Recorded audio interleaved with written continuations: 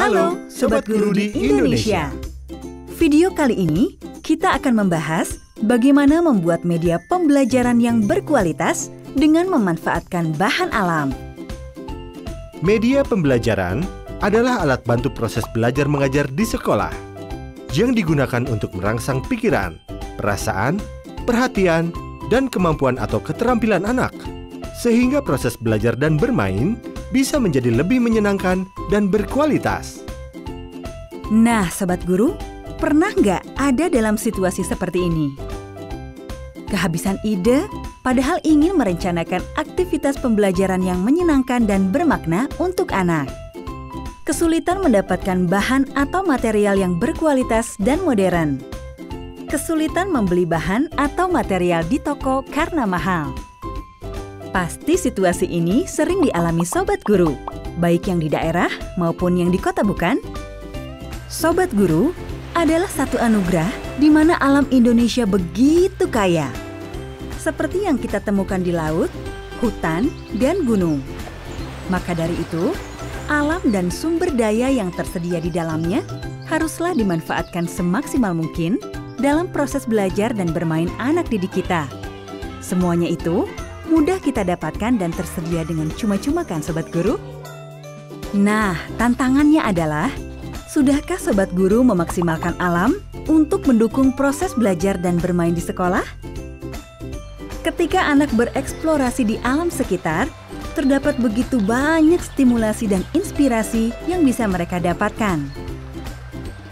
Seperti ketika melihat pemandangan sekitar, mendengar berbagai jenis suara, mencium aneka aroma, serta menyentuh dan merasakan bermacam-macam tekstur. Aktivitas tersebut sudah pasti merangsang. Satu, Pemanfaatan fungsi panca indera anak. Dua, Kreativitas dan daya imajinasi anak. Tiga, Rasa ingin tahu. Empat, Dan pastinya, anak akan belajar untuk lebih peka dan mencintai alam sekitar. Tahukah Sobat Guru, sumber daya alam seperti daun, ranting, bunga, batu, kayu, bambu, pasir, tanah, kerang, biji-bijian adalah beberapa contoh sumber daya alam yang bisa Sobat Guru gunakan sebagai bahan pendukung media pembelajaran untuk membantu anak dalam mengenalkan konsep dasar matematika. Literasi bahasa dengan mengenalkan huruf dan juga untuk mengolah rasa lewat berbagai aktivitas seni. Nah, Sobat Guru, yuk kita berkreasi bersama membuat media pembelajaran menggunakan bahan alam yang diperoleh dari lingkungan sekitar kita. Contoh aktivitas Sobat Guru dapat lakukan misalnya mengenalkan konsep angka, pola, dan hubungan menggunakan ranting, batu kali, daun, biji-bijian. Kita coba dengan ranting bisa digunakan apa saja. Ranting-ranting yang sudah Sobat Guru kumpulkan dapat digunakan anak-anak untuk mengenal konsep angka dengan cara mencocokkan setiap angka dengan benda yang sedang dihitung. Misalnya, Sobat Guru menunjukkan kartu angka 5 dan ajak anak menghitung jumlah ranting sesuai yang tertera di kartu tersebut.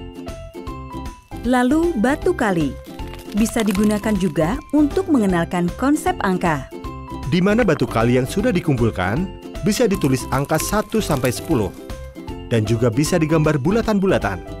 Kemudian ajak anak untuk mencocokkan jumlah bulatan dengan angka yang tertulis di batu. Atau anak bisa menghitung jumlah ranting, kemudian mencocokkan jumlahnya dengan angka atau bulatan yang tertera di batu. Lalu daun-daun bisa digunakan apa saja? Daun-daun yang dikumpulkan bisa dipakai untuk mengajak anak belajar tentang warna dan ukuran. Misalnya, ajak anak-anak mengelompokkan daun berdasarkan ukuran. Kecil, sedang, besar, atau mengelompokkan daun berdasarkan warna, merah, hijau, coklat, kuning, jingga. Selain itu, biji-bijian bisa digunakan apa saja. Biji-bijian setelah dikumpulkan bisa digunakan untuk anak-anak belajar membilang. Gimana Sobat Guru? Seru kan berkreasi dengan bahan alam? Sumber daya alam yang berlimpah dapat Sobat Guru manfaatkan menjadi bahan atau media pembelajaran yang tiada batasnya, murah, dan mudah didapat. Sehingga mampu memberikan pengalaman yang baru, unik, dan menyenangkan kepada anak. Yuk, kita ramai-ramai menginspirasi dunia anak dengan berbagai kreativitas hasil pemanfaatan bahan alam di sekitar kita. Dan semoga karya-karya Sobat Guru bisa turut menginspirasi Sobat Guru lainnya di seluruh Indonesia. Maka dari itu, jangan lupa sharing ke kita juga ya, kreativitas apa saja yang sudah Sobat Guru dan anak-anak lakukan dengan menggunakan bahan alam sebagai media pembelajaran. Salam inspirasi untuk guru Indonesia.